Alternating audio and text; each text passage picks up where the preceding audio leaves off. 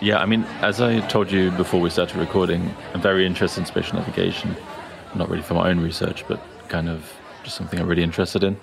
And I've had a few guests, and they all come from the rodent and human research directions or approaches or whatever. And uh, so I'm really looking forward today to talk uh, to you about a very different kind of species, uh, one that I've never.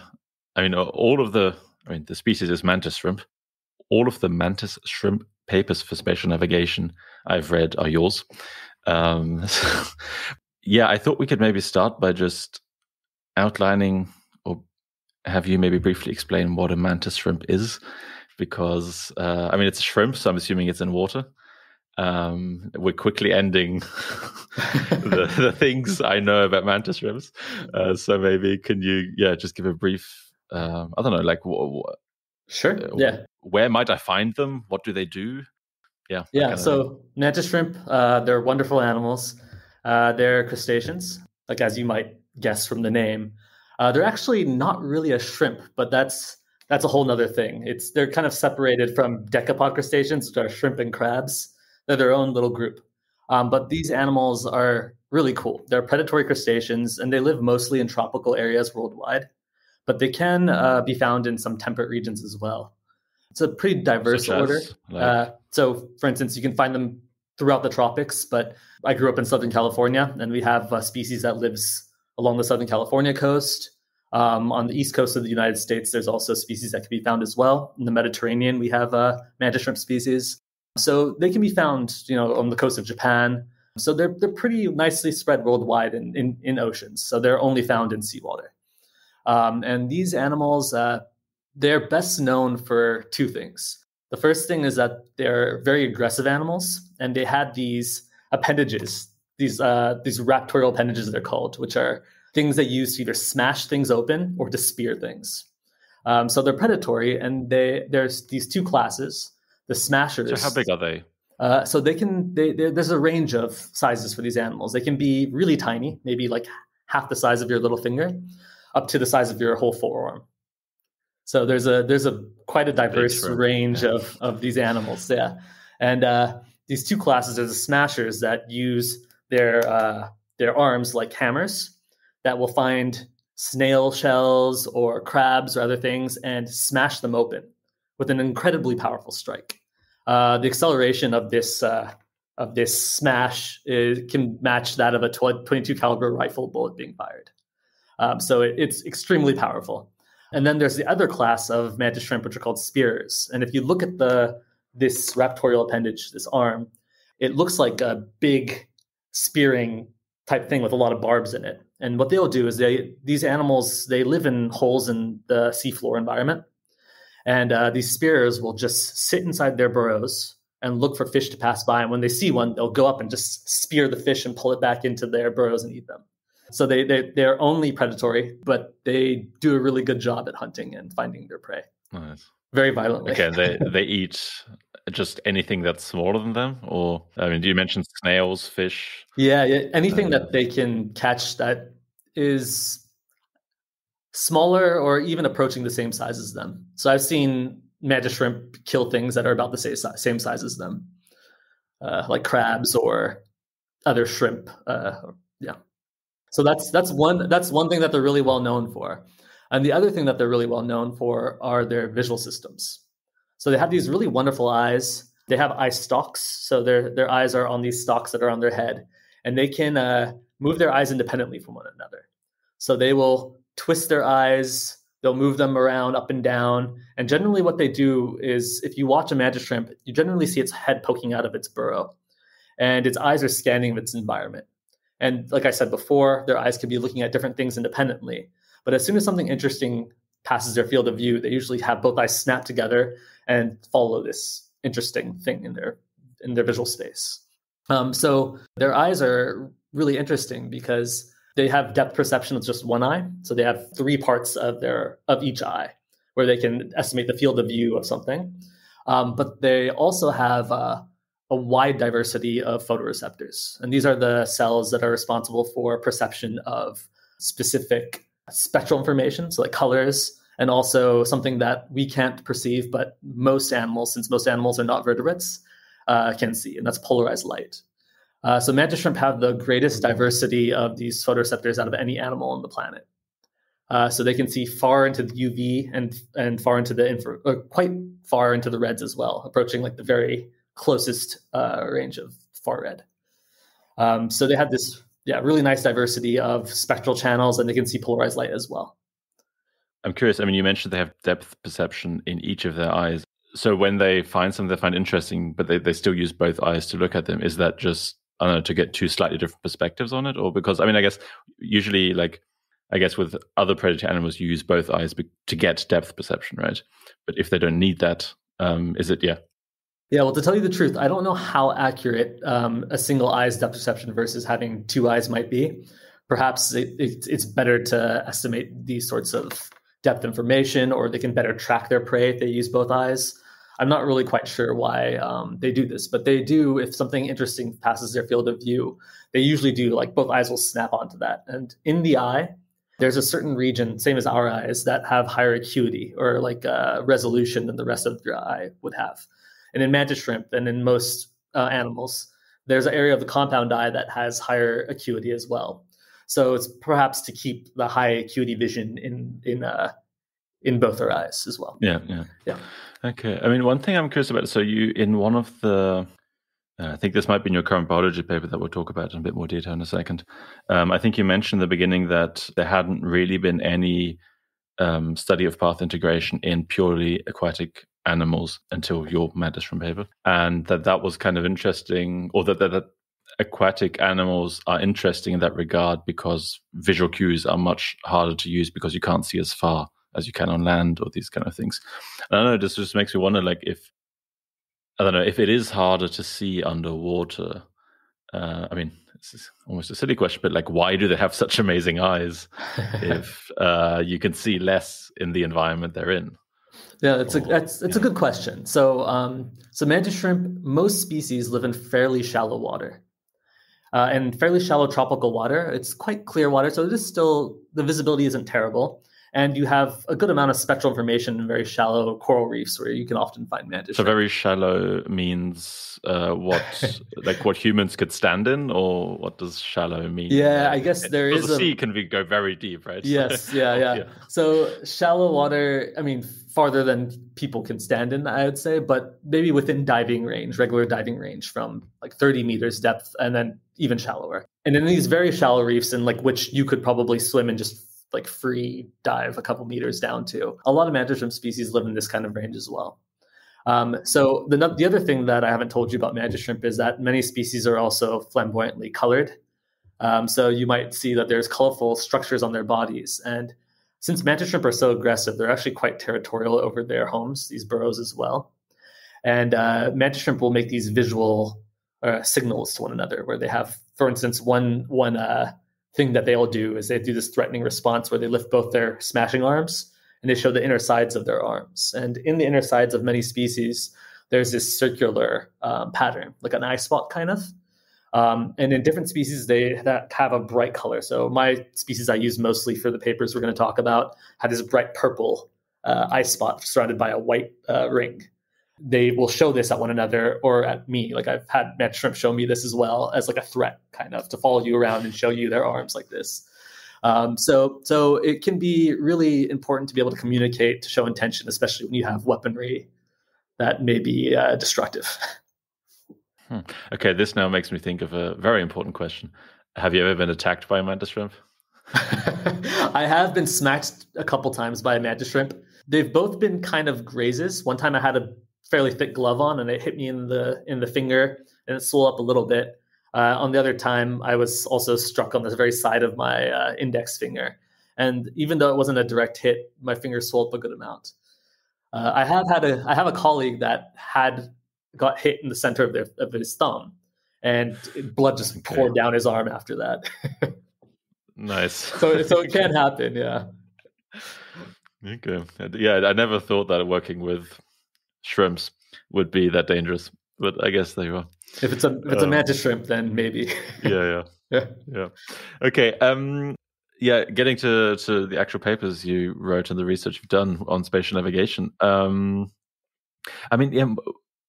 why use mantis shrimp for this? Though? I mean, so that you're you're investigating path integration, which we can explain in a second, maybe. But yeah, I'm just curious, like, why this particular species for this task? Is it just you were working on the species and thought this would be a cool experiment, or is there, yeah? Yeah, I mean, it was that's a good question. Um, so it actually kind of happened by accident, really.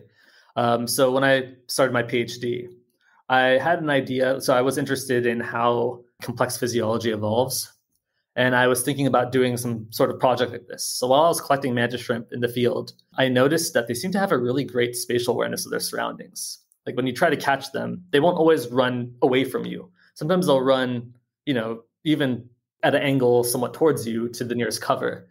Um, and I just, I guess, just seeing this while I was collecting mantis shrimp as like a starting off PhD student made me think about, well, how are they doing this? How do they keep track of their surroundings? And I was never someone that ever thought about navigation or spatial orientation before, but I don't know. I just thought that was interesting. And I started devising like little experiments where I made these large arenas.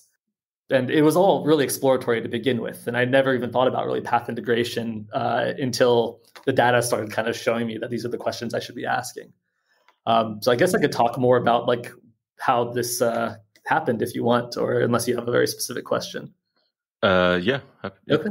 Yeah. So, um, so after I kind of noticed this and started having these ideas, the species that I worked with, um, I work with, they're they're found they're the closest mantis shrimp species that are that were available to me. So I did my PhD at the University of Maryland, Baltimore County. So this is on the east coast of the United States, not too far from Washington D.C., right outside of Baltimore, and uh, in the Florida Keys. That's the that's like the closest Caribbean you can get to from um, Baltimore.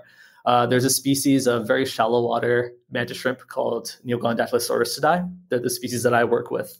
They're about the size of your index finger. That's how big they can get to. They can just from between half that size to about that size. And uh, these animals, they live in really shallow water. They live in rubble or sponges, really anything that you can have little holes in. They spend most of their day in these holes where they're safely concealed from their predators and they're just looking out in their environment. But every now and again, they do have to leave for hunting, for instance. So they'll leave their burrows and hunt, and um, it's presumed that they would get back to them again. But we didn't really know this. So I got some of these animals and I built these circular arenas, which are just these baby pools that are about a meter and a half in diameter. I filled them with sand, and then I made these artificial burrows out of PVC pipe, and I put them in in the arena. And I stood them up so that way the burrows were hidden from view uh, because like the rim of the burrow was about coplanar with the surface of the sand. So if the animal was away from it, it couldn't necessarily see its home. It'd have to find it by some other means. Um, so I put this burrow there, and then I included a landmark right next to it. And then I put the animal in, and I wanted to see if it would be happy living in this little burrow in this environment. And it did. It adopted it really quickly, so that was really nice. Uh, and then I wanted to see, okay, well, what happens if I put some food in the arena? Will the animal actually like to go and find the food?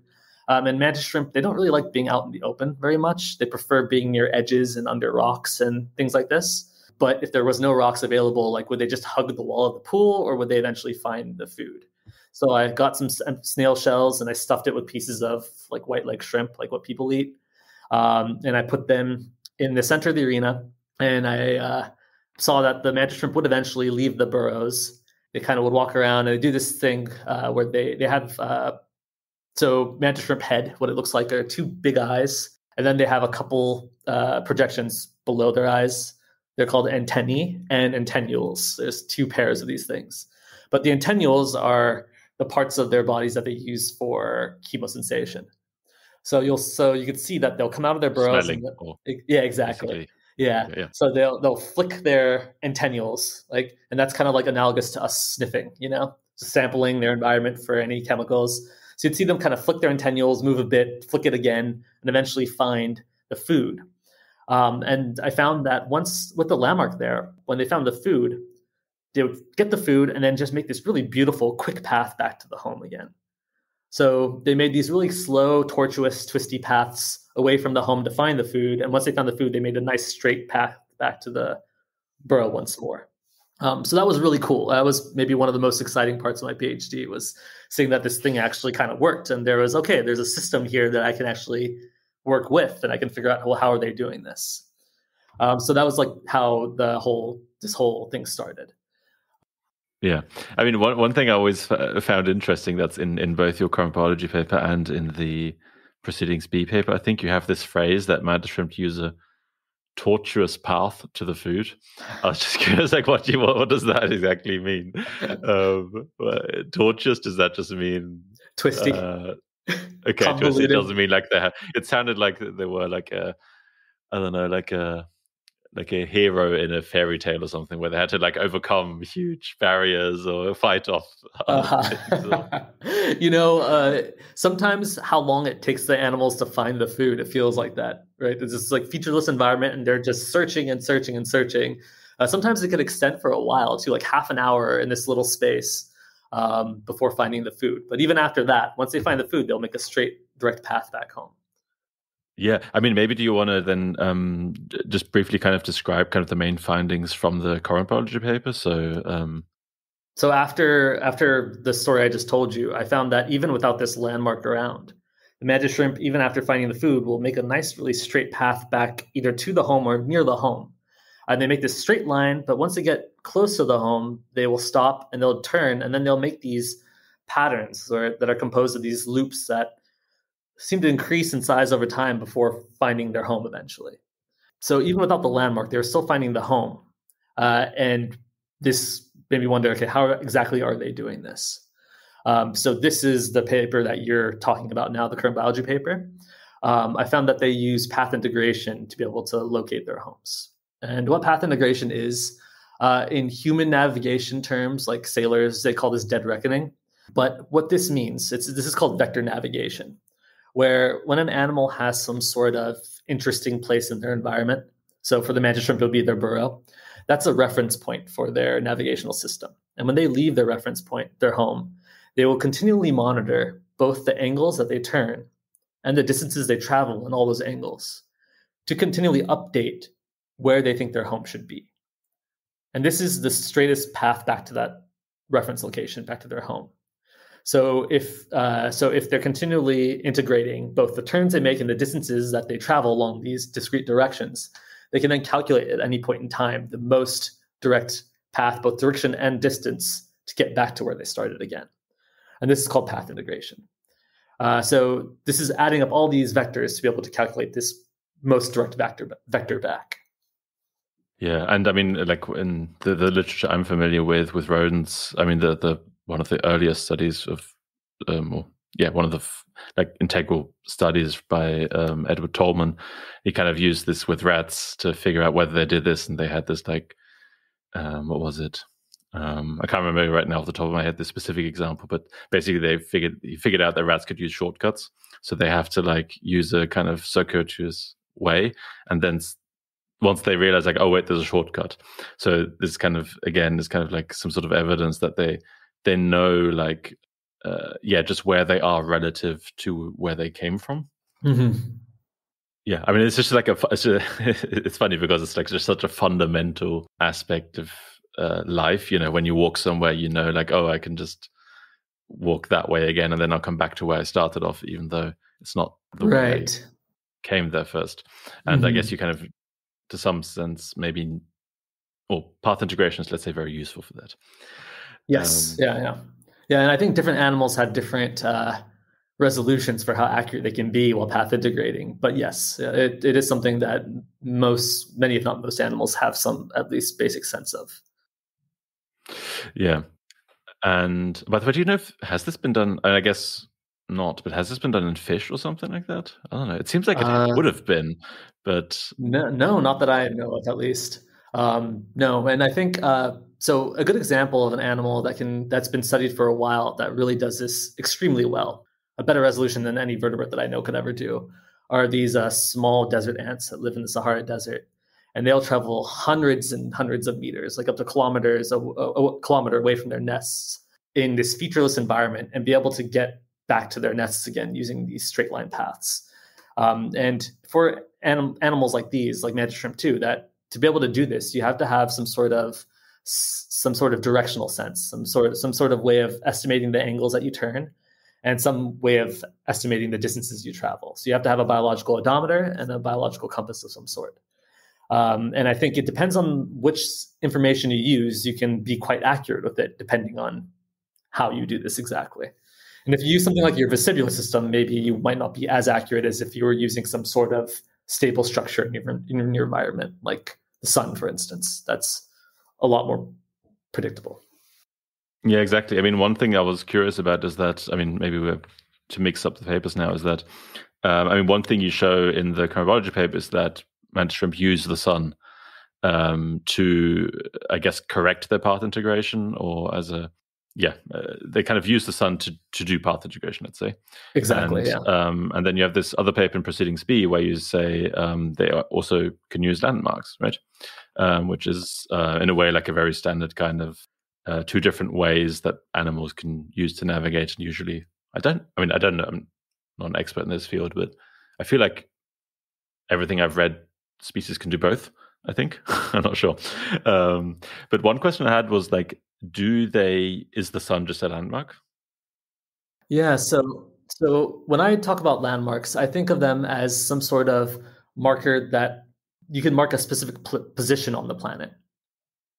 So it's a it's a place, it's a positional marker. Well, the sun can never be this because it's at least to something that's earthbound seems infinitely far away. So it can give you a direction, but it can't really give you a position on on the planet. Does that make right. sense to you? Yeah, yeah, yeah, yeah. That's a fair point. It's not something you walk past and then you go like, okay, I'll walk until the sun, and then after that I go left. Yeah, um, exactly. Um, yeah, okay. I guess that's a, that's a good way of differentiating it. And and no matter how how many how long you walk towards the sun, it will not look different, right? It will look the same. If as if the if the sun stayed in the same place in the sky, you can never ha- walk towards it and have it grow larger. Well, with landmarks, you can, right?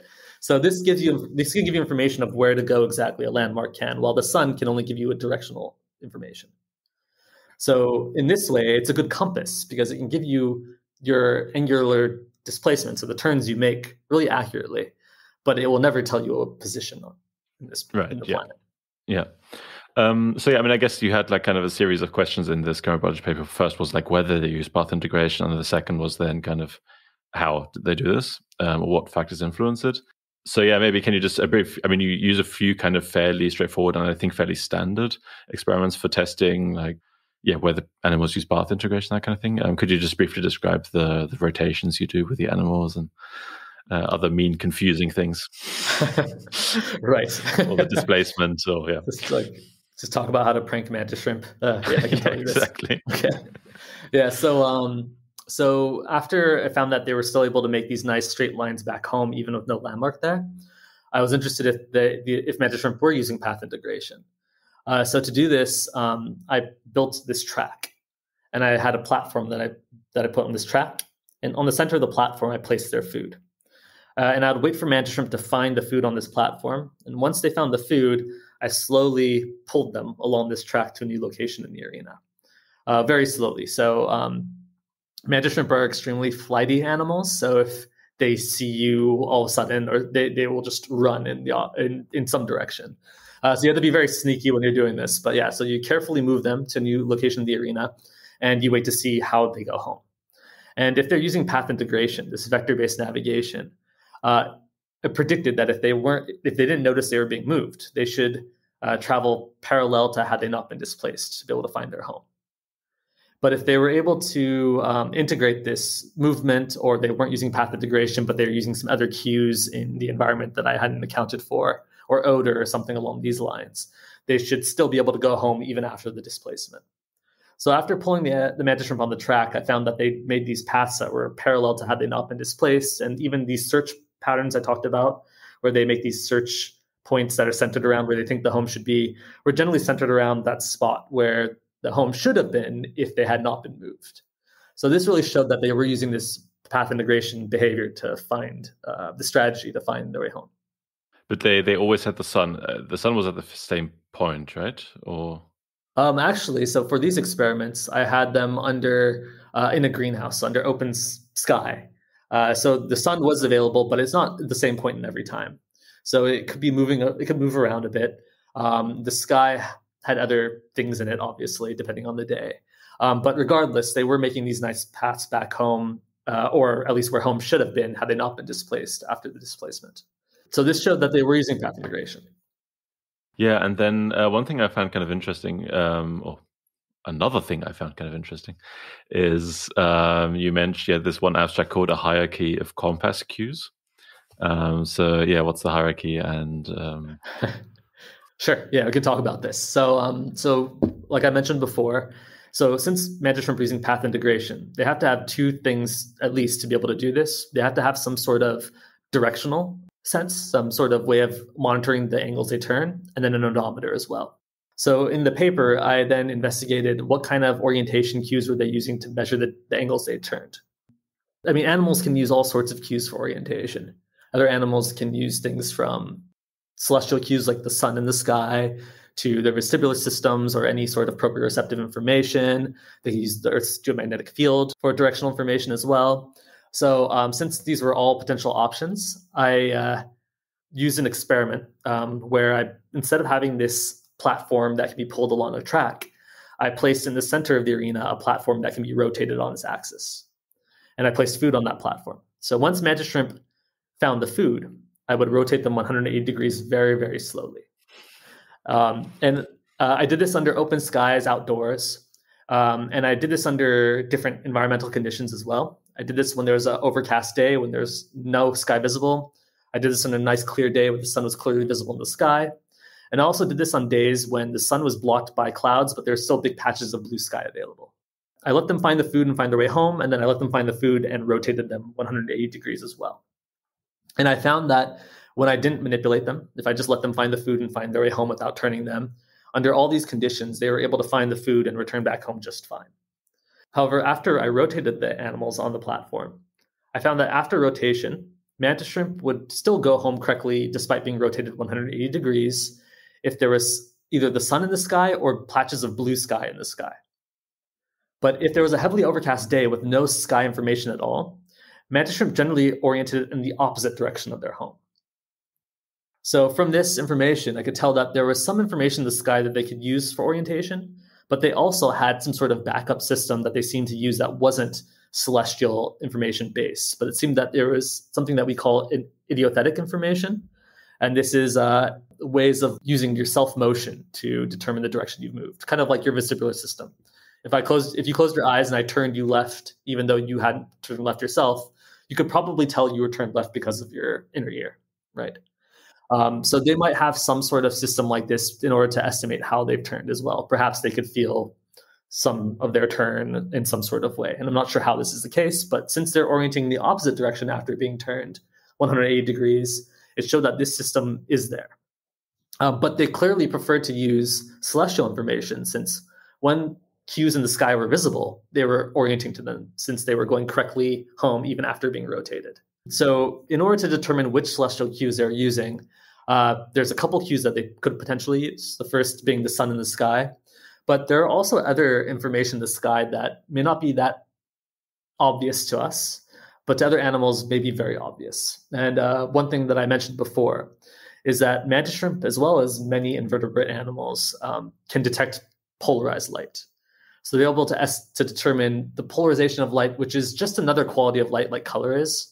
Uh, color is uh, is how our brain processes different wavelengths of light or the energy of these photons moving in space. While polarized light is uh, it, it, talks about the polarization or the um, the orientation of we call this electric vectors or magnetic vectors of these photons moving in space. And if all the photons are moving in the same direction, have the same electric vector, then the light is very polarized. While if uh, if these photons are moving with different orientations, it's unpolarized light.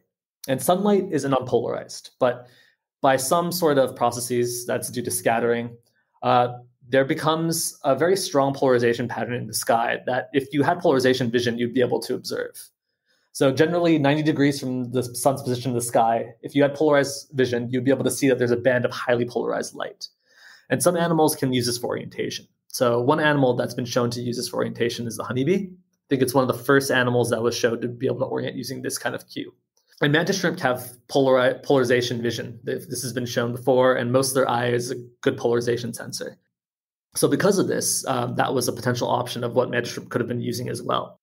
So in order to test to see if they were using the sun or these polarization cues, um, I used this experiment that actually been done the first time, I think maybe 1910 with ants. this guy that was is a uh, I think he was like a Swiss French guy that was living in Tunisia when the French had that as a colony at one time. He uh, with with desert ants he uh, he did this really clever trick where he covered the sun with a board and then used a mirror to reflect the sun on the opposite side of the sky from the sun actually was to make it appear to the ant that the sun was on the opposite side of the sky from where it actually was located. So I used the same trick to see if mantis shrimp would orient using the sun. So I had this setup where I had a whiteboard that I tied with a rope. And when the mantis shrimp finally got to the center of the arena, I had a mirror in my hand as well. I flipped the board up to shade the the um, arena from the sun, and then used the mirror to flip it to the other side. And after doing this, I found that most mantis shrimp would navigate to the other side of the arena from their home, from their burrows before searching. So this showed they were using the sun for orientation. But they could also orient even when the sun wasn't present, as long as there's patches of blue sky available. Um, so I also wanted to test if mantis shrimp could use polarized light for orientation as well. And to do this, I built a slightly different setup where I put it in a dark room and I made this artificial polarized light field above the arena that the mantis shrimp were in. And once mantis shrimp found the food, I rotated this polarized light field that I created 90 degrees. And I found that when I did this, mantis shrimp would also orient 90 degrees in response to this polarized light field as well. So this really gave this hierarchy that you asked about, it, it took shape, where it seems that at least most mantis shrimp prefer to orient to the sun when it's available. But when it's not available, they still prefer to orient to celestial cues like the polarized light field that's present in the sky. And then finally, when all um, celestial cues are obscured, like under a really heavily overcast day, they seem to rely on other information like idiothetic or this self motion information to estimate the turns that they make. And uh, this it, it, does seem hierarchical in nature, at least within the setup that I have in the conditions I gave the mantis shrimp. And they may be able to use more cues as well, like water currents if there were any available, but I didn't test right, any of those things. Mm-hmm. Yeah, yeah. Yeah, I mean, it's, yeah, I find it interesting because it's, I mean, the, the hierarchy that you describe is also in terms of like how reliable the signal kind of is, right? Like the, the sun's, I mean, it, it moves relative to, you know, or the Earth moves relative to the sun, but um, but it's very predictable, right? Where the sun's going to be. Um, so if you can, if it's there, you might as well use that. Yeah, because right. it's just super reliable signal, right? And it seems to me like basically they go from like the most reliable and external cue to then at some point just like, well, I guess I've only got like my own body now. now I just have to use that to figure out where right. I am. Yeah, and these idiothetic self motion cues are a lot less reliable than these external cues because you only can refer to your turns based off your previous measurement of your turn. So if you and every time you make a measurement of some sort, there's going to be some amount of error associated with it. And these errors will compound hugely over a very short period of time if you're using these eh, the self motion cues, while the sun can be a lot more stable. Or yeah, and I guess polarization the patterns is, as well. I guess the point that you the, the the I think the crucial point is almost what you said that um, if you use your own bodily signals, then you can only the, the errors can just accumulate, right? Whereas if you have something that's stable, like the sun, or like a specific landmark in your environment, then you can just uh, you know the errors don't have to accumulate. You can just reassess kind of newly every time you see that cue. Um, so I think that's why it's super useful to yeah correct path integration errors with something external that you can where you don't have accumulating errors. I guess that's kind of right. Yeah, yeah, that's right. So if you can use the source of path integration are these two odom, odom, odom sorry odometry or uh, angular measurements, and if you can use a really reliable cue for either of these two things, you should ideally. Yeah. And uh, so to maybe uh, finish off the, the the mantis shrimp discussion, the yeah the second paper that I already mentioned is the in proceedings B the landmark navigation. Um, and yeah, I mean, is is the brief summary that they can also use landmarks? yes, yeah, yeah. So that's that's yeah, that's the brief summary is that they can use landmarks to be able to locate their burrows as well. And uh, a landmark is really nice. Like if it's if it's reliable, then uh, a landmark is a stable structure that. Sorry, if it no, it's just I was just laughing because you said if it's reliable, which hints at what you're going to do with the landmarks in your study. yeah, right. suddenly the landmarks move. uh-huh. Yeah, so if the landmarks are liable, it's it's a nice positional marker. So it's a much more accurate thing than path integration even can be because it gives you a very it gives you an actual place in your environment that you need to go to. Um, so like those very first uh, experiments I did with the landmark and without them, they were able, the mantis shrimp were able to make these really nice paths back to their homes in both cases, with and without the landmark. But with the, with the landmark, they were able to go exactly to their homes almost every time. While without the landmark, they would get close, but they'd often make some error, and it wouldn't be directly to the exact point of their burrows. Um, so landmark is a really nice way of getting to a very specific point very quickly. And like you just mentioned, uh, so in this experiment, or in the in the paper, I had the landmark there. I didn't have the landmark there. But finally, when I saw that they were being, the paths were much more accurate with the landmark, I then moved the landmark away from the home when the animal was feeding. And in this case, like even though you might predict that they would always go to the landmark, I found that that wasn't always the case. Surprisingly, they would often go to the landmark, but at, at a certain point, once going to the landmark, I found that sometimes they would stop along that, like they would stop following the landmark and then turn and go to where their burrow should be. So it does seem like that that first is very cool because it shows both the landmark navigation and path integration systems are present and they operate independently of one another. They can both work together, but these are two independent systems that the mantis shrimp have at the same time that they can use. Yeah, I really like that part because it's. I mean, at some point when you read these studies, that you know, you you uh, rotate the animal or you change landmark, whatever. At some point, you go like, don't they like have some sort of memory of what it looked like five seconds ago, or I don't know how long, you know, it takes for you to make this change. But at some point, I feel like surely they must realize at some point that like things have changed. And I really like that there were. I think you said like three out of ten or something like that. Like it wasn't like all of them. But that, um, that sounds right. I can't quite remember, but yeah. um, well, at least like some of them, right? It wasn't like all of them. Yeah, yeah, a, yeah. portion of them, yeah. Um, and I, re- I, I kind of really he had this one example which I really liked of this this one uh, uh, what was it that the one shrimp kind of realized halfway to the landmark like wait a minute this isn't where I thought it was then went back to get a snack and then went straight home. And, right. Yeah. um, I really like this kind of like I can really imagine the shrimp going like, wait a minute, this is not where I'm supposed to go. Better get a snack, and then I'm gonna go home again. Yeah, or or yeah, just get to the position that you last uh, I guess could account for. Yeah, yeah, yeah I, I have no idea yeah. what they're doing, but yeah, yeah, yeah, maybe. yeah. Um... But yes, it's uh, it's it's really nice because landmarks, the, their positional uh, information is absent of error really while path integration always has some error attributed to it it might be very minor um, but it's there. Yeah and especially the accumulation i mean you can obviously have errors in estimating how far the landmark is away from you that kind of stuff but mm-hmm. it doesn't accumulate every step of the way necessarily. Yeah i mean one question that i mean the, the reason i also find uh, to kind of have a slightly more general discussion about mantis shrimp navigation that kind of stuff is that yeah, as I, as I said in the beginning, most of the stuff I've read, or pretty much all of the stuff I've read, has been with rodents or with humans. I mean, maybe some monkey studies, but I think it's pretty much rodents.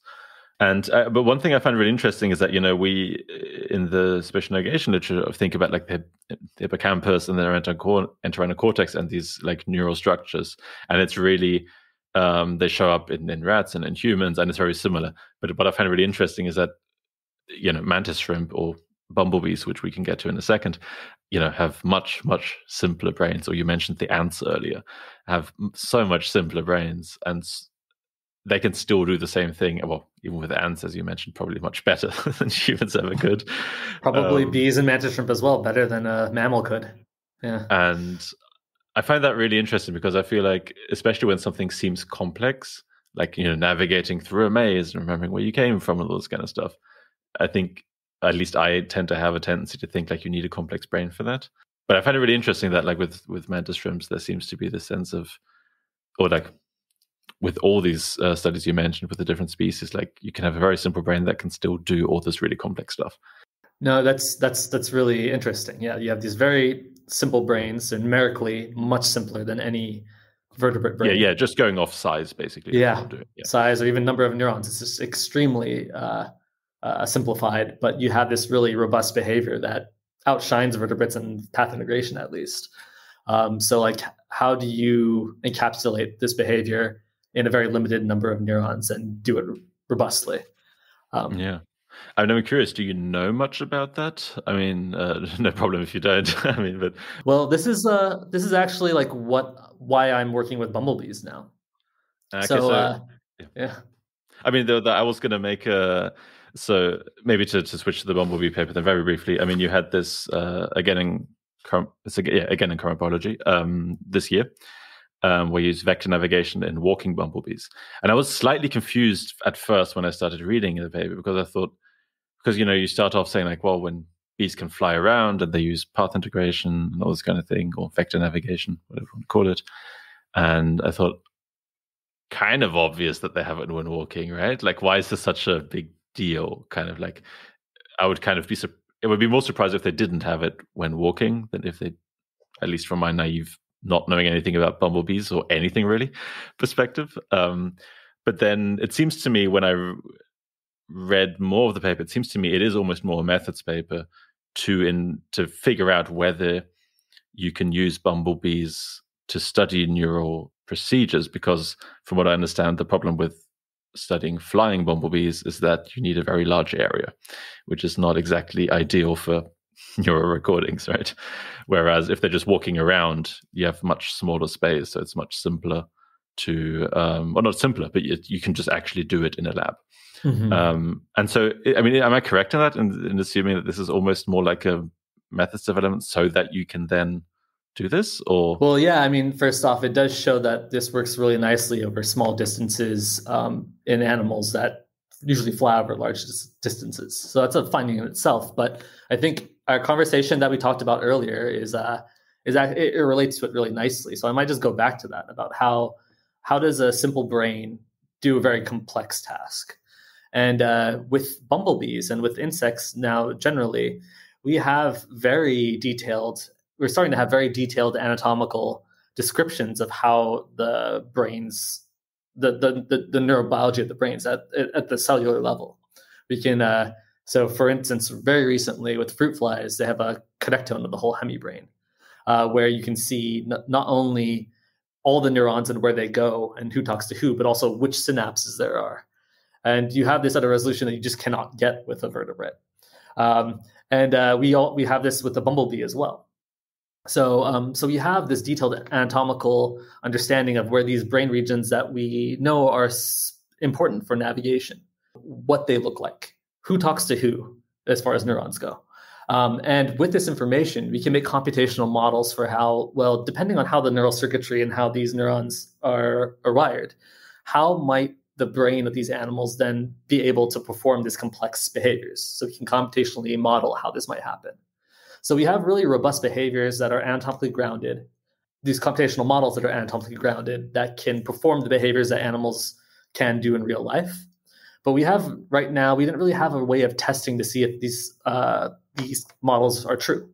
You know, these are so so. Uh, what I was what I've come here to do is to really figure out well, can we devise a situation or devise a setup to be able to test these models? So can we can we perform really nice, clear vector navigation, these path integration behaviors in, in the laboratory? And then can we record from these animals neurally why they do it? So we can then test some of the hypotheses that they raise. That certain cell types are storing vector memories in a certain way, for instance. Um, so, uh, so this paper, really the, the motivation behind this is to see, well, can we get a reliable system working in the laboratory? Can we show that bumblebees perform nice vector navigation in a small space? Um, and the reason I chose walking bumblebees is because it's uh, logistically a lot simpler to to work with animals that aren't flying in three dimensions, but rather constrained to two dimensions, right? So you get and and it's easier to record from their behaviors and then to do neural recordings this way as well. Um, so in, in some ways, it is uh, a methods paper in that we we're tr- the end goal is to see if we can get a system working where we can test both neurally and behaviorally uh, some of our, idea, our ideas for how the brains of these animals are actually performing these complex vector navigation behaviors in a very small package. Yeah, yeah. I guess I agree. Like it is um, just to, to. I guess I did kind of slightly underplay the uh, finding that they actually use it in walking because I guess it is a very. They're using different joints and all this kind of stuff, right? Or different limbs or whatever you call this with bumblebees, uh, wings versus feet or whatever you call it. legs. legs? Yeah. yeah. yeah. Okay. Uh-huh.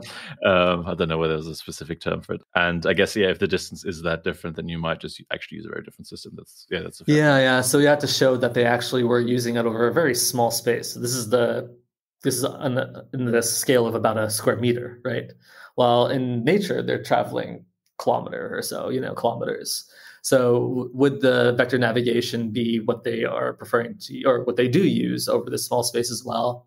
And can we predictably manipulate these behaviors, both the distance uh, estimations and the orientation estimations as well that the bees are using?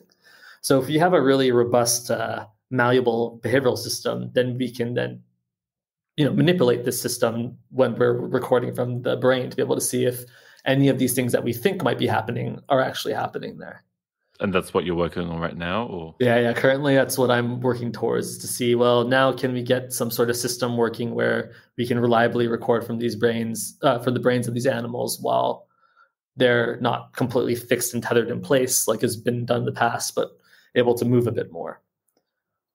Yeah is the i mean i've ne- i've never really i'm not sure i've actually ever read a paper where they use neural recordings from insects or anything like that but um, is I'm just curious, like because because I guess my question is like how well you can actually record neurons from creatures that are so light.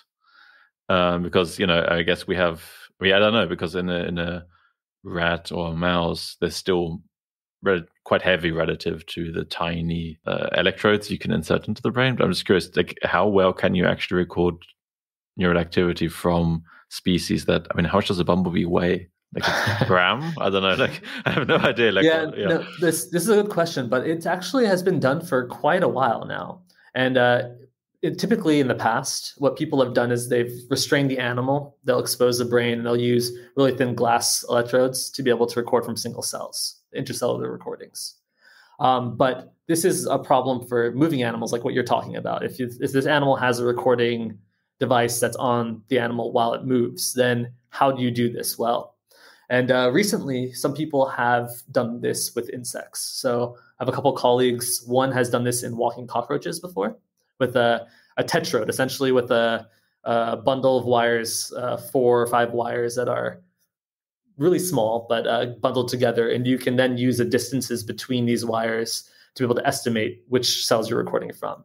And uh, I have a colleague that also just had a paper come out uh, recording using tetrodes in monarch butterflies that are flapping their wings.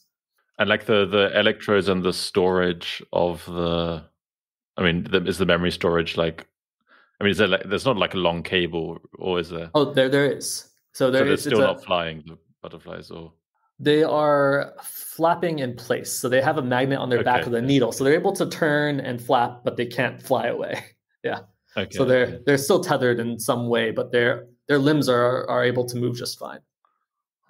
Yeah, it was interesting because I guess this is the kind of, I mean, this is the problem that was solved just before John O'Keefe found place cells in rats and then later on, in large part, won the Nobel Prize for that one paper, I guess. Because I think just before that, there was the same problem with rats. It's like, how do you record from a moving animal? Mm-hmm. And then someone figured out how to do it. And then suddenly you can do all these new experiments now. But I guess you're getting to, or you are at that point now where you can record from a walking bumblebee or? No no i'm not quite there yet. Okay. Working on it working on getting there but okay. yes. But the technology is is around and people have used this technology to record from animals while they had some free motion. So this is uh so it's not like we have to invent something completely from scratch you know the, there is this available and now we can see well can we incorporate it in this system? Which is quite a challenge nonetheless but at least it's something that is feasible i think Mm-hmm. I mean, if that's what you're working on, you'd, you'd hope so, right? yeah, but you know, you can never be like with these kinds of things. You're never you never know if something's going to actually work at the end of it all. Yeah. So there's always risk involved.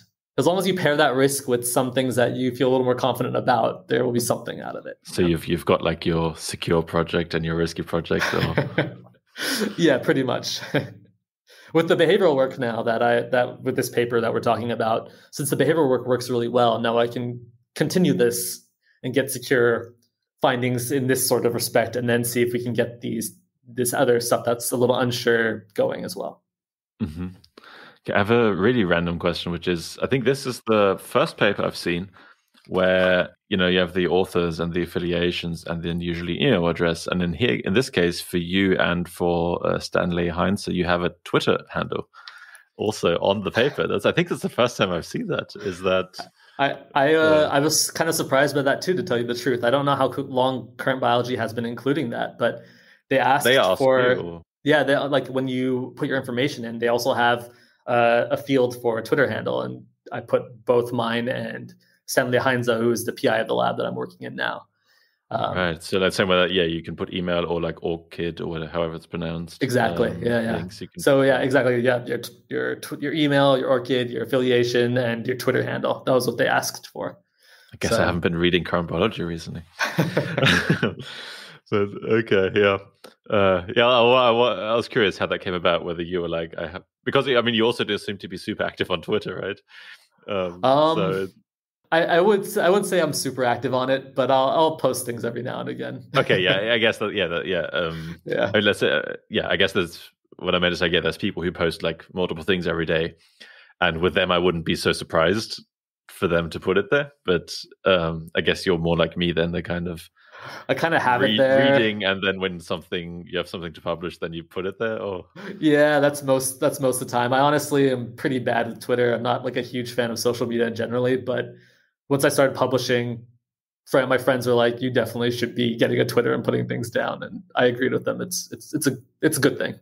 Yeah. Yeah. I mean, that's the only thing I basically use it for. It's just, uh, I mean, yeah, if I have a paper or a podcast episode, that's pretty much it. Yeah, um, yeah, but I mean, some people are really good at at doing this and like connecting with people over these uh, these uh, platforms. Yeah, and it's so. it's really valuable. I mean, I think if I remember correctly, the reason I found out about you and your work is because Hugo Spears tweeted about it, and Hugo Spears has been on the podcast before, and he's very active on Twitter and okay. posts a lot you know, he always has like stuff about memory, spatial navigation, that kind of thing, roughly. And so I think he might have tweeted about your the Bumblebee paper or something like that. Not sure. Um, and that's, that, well, very cool. That, um, and there's, yeah, I think it's it's really valuable for finding new stuff. It's just I'm not someone who likes posting things there. I guess yeah. I mean, I, yeah. I also don't read lots of new papers. I feel like half the papers I read are like 30 years old. Mm. I, know, hmm. I guess that might be worth reposting, like tweeting about them. So you know, uh, that's interesting. Yeah, yeah. I don't know. In some way, it feels more appropriate for new stuff, but I don't know. Yeah, I mean, you know, I never really thought about it, but I honestly, if you're excited about something, including an old paper, I guess why not, right? Yeah. Yeah. yeah, I'm not. I feel like I'm not going to get into Twitter. It's not. It's not my thing. Yeah, yeah. yeah. Um, I think. I think this is my science communication, which is great. I think that's. Uh, it's. It's a lot of a lot more effort. I had. that I would imagine, but it's also probably more reward too. You get some interesting yeah, conversations exactly, this way, and it's definitely more effort per output. Let's say. oh yeah, definitely. um, yeah, yeah, but. um in a, yeah, it's weird, weird. In a way, this is science communication, but I don't almost don't think about it that way. For me, it's more like it's just like stuff I find interesting, and then I want to talk to the people who did it, which is really cool. And most, about it. honestly, most people probably yeah. don't have that opportunity, but you've made your own yeah, exactly, exactly. do that. Yeah, um, it's weird. Like I, I feel like I attend far fewer talks now than I used to, just because it's like well, I can just invite them on the podcast. Mm. Obviously, cool. not, not everyone says yes, and I don't always invite people, but um, yeah. Uh, as a kind of last kind of uh, smaller topic, I was just curious. I mean, you seem to have, uh, I mean, drawings and illustration seem to be something you've been doing for a while. I mean, I ah, saw yeah. on your CV you have a biomedical illustration certificate in your bachelor's. Uh, from what I can tell, it seems like it's not only for your own work, right? There, there were some things that seem to be for other labs or publications, the way you did illustrations. Yeah, yeah. Uh, so um, yeah, I'm just curious, like, how did uh, something you've just always been doing and then realized you can do it honestly papers or yeah uh, it's kind of funny but in my un- my uh, undergraduate work um, i was a biology degree uh, but i also wanted to take some art classes too because i never had done that before Um, but I always like kind of just like doodling and stuff. So my undergrad also was really had a really nice art school as well. But you could only take art classes if you were an art major. And I saw that this certificate was an option. So I was like, oh, maybe I can do this like as a degree and take some art classes just to see if I like it or not. Um, and I ended up loving it. Like I did a lot. I probably did enough or almost enough for an art degree as a whole, anyways. But uh, like I took other classes too, like drawing and painting and just doing this. And uh, really, sorry, brief question: the certificate. I thought this was like a single course or like a single module. Oh no, it's, now it sounds uh, like it's a lot more. Yeah, yeah, it's like a it's pretty much a full degree almost. It's uh, uh I think like every school semester I had like at least two art classes. Huh. Yeah. And that was so biomechanical illustration means uh, like specific courses specific to that or? Yeah so i had maybe three or four of these specific courses i think three it was. Um, but most of my classes were generally uh, drawing or painting. These are also things that i was kind of interested in as well.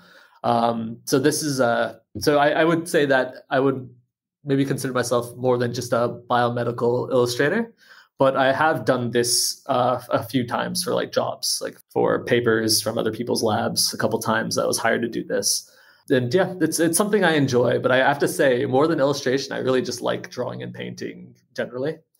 Uh, yeah. But the illustrations are nice too because you can actually have like a job and focus on it and do it. Even though it's been a while since my last uh, the last time I was paid to do this.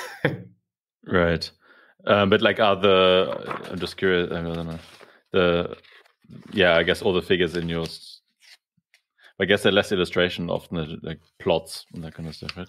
Yeah, yeah. So all my figures, obviously, I, I guess what did I do? I guess I did a bee head for the surgery experiment. Oh, yeah. All right, right. Yeah, here it is. Yeah. So, yeah. So that one I, I did, and then for my mantis shrimp paper, there's like an illustration of a mantis shrimp I put on the front of the. Yeah, yeah, yeah. Yeah. So so I get to throw it in every now and again. Um, yeah. yeah, I mean, it's I, I really like that kind of stuff. I think it's always cool when I guess just people have skills that you wouldn't necessarily expect just from the job description, which I feel like pretty much most people have, but not necessarily yeah. to this degree, and um, often you don't know about them either. Right. Yeah. I think uh, I think it's actually surprising. I've, I feel like a lot of scientists seem to be able to uh, draw really well. Like I've come across a good number of my colleagues that do fairly nice drawings too. Um, I'm not sure if there is something that draws these kinds of people together in this way. That was but... a great pun. yeah. Yeah. Unintentional. I'm not that clever, so. um, but actually, this reminds me. There's a there's a biography that came out recently of Ramon y Cajal. Um, uh, like there's like a big biography that came out about him um, that I want to read at some point, and reminds me I have to still have to order that book. Uh-huh. it sounds really interesting. Yeah, yeah. um, yeah, I guess I think I've kind of come to the end of my questions. Cool. Uh, my yeah. points. I don't know if there's anything else you want to add. Otherwise, I'll just stop recording.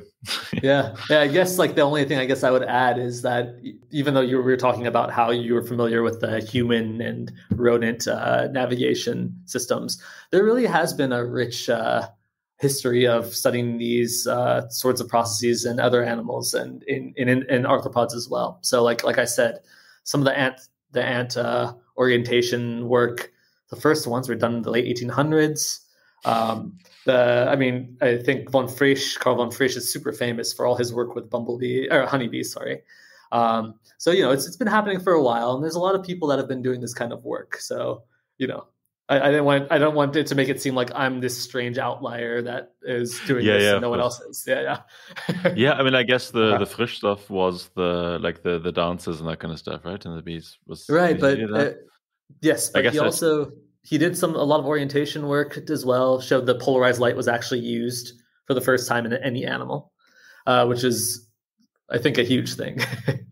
yeah, and that's interesting. I just never really put yeah, there were always like different topics in my mind. You know, you like separate things. So like the spatial navigation, there's like the, I mean, not that I know this in any detail, but I, I knew of them, right? But yeah. I never considered this to be part of the spatial navigation literature. For me, this yeah, is yeah, like definitely communication kind of thing. Yeah, no, but the dances, what they're communicating is what they interpret as their spatial surroundings, mm, right? Yeah, so, yeah. so the dance is actually giving the path integration vector in a way. It, the direction of the dance and how far the dance goes is what direction you should go relative to a dominant hue like the sun and how far you should go in that direction. So it's very cool. Yeah. Yeah. Great. There's another entire field of literature I can add to my reading list then. That's good to know. Yeah.